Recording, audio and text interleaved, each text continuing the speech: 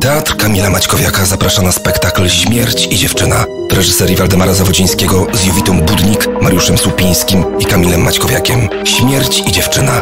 Bilety na teatrmaćkowiaka.pl